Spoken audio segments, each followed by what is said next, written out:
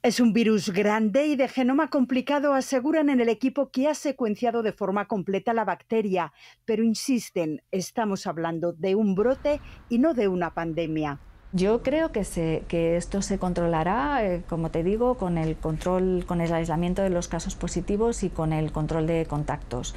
Lo que yo no sé es eh, cuánto va a extenderse el brote y cuánto vamos a tardar eh, de controlarlo. De momento estamos cerca de los 100 casos confirmados en España, todos hombres menos una mujer, y repartidos en siete comunidades, sobre todo el Madrid con 65 contagios, 9 en Cataluña y 6 en Canarias.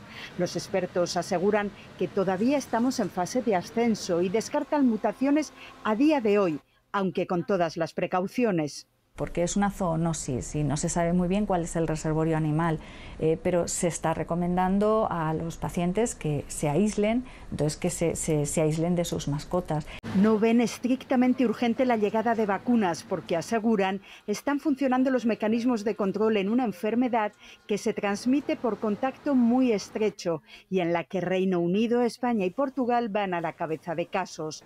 Ya hay más de 360 fuera del continente africano, donde endémica en algunas zonas. Quizás, dicen los científicos, ahora se le preste más atención en su origen.